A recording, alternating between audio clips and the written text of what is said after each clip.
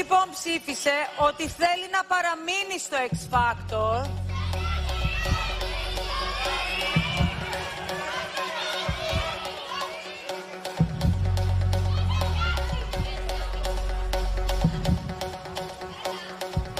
Η Άνω κάτω.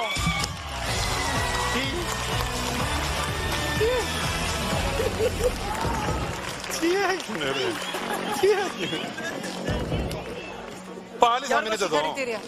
Πάλι θα μείνετε εδώ. Α.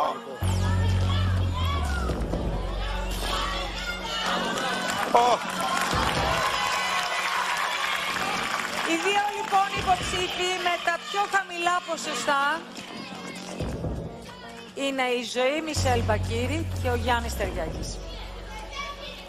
Λοιπόν, καταλαβαίνω ότι είστε σε πολύ δύσκολη θέση, γιατί δώσατε τον καλύτερό σας σε αυτό, είστε όμως τελικά υποψήφιοι προς αποχώρηση. Όσο περνούν οι εβδομάδες, οι διαγωνιζόμενοι λιγοστεύουν και όλα δυστυχώς κρίνονται πλέον σε λεπτομέρειες. Παρακαλώ τους μέντορες να επιστρέψουν στις θέσεις τους.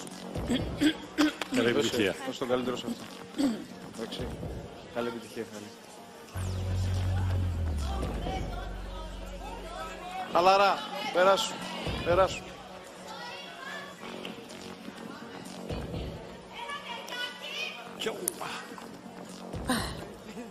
Φύγατε κιόλας.